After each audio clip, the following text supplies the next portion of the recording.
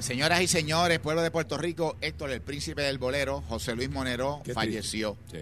Señoras y señores, pueblo de Puerto Rico, José Luis Monero falleció eh, ayer martes, a eso de, eh, creo que fue como a las 10 y me- y 30 de la, de la noche, después de varias complicaciones de salud. Y, y, y esto trabajó hasta el final, Hasta el ese final, señor, eh, eh, final. cantando. Sí, sí, sí, hasta el final. Una cosa increíble. Se mantuvo ahí, cara. Sí, le sobreviven varios hijos y su esposa eh, Tere Haddock.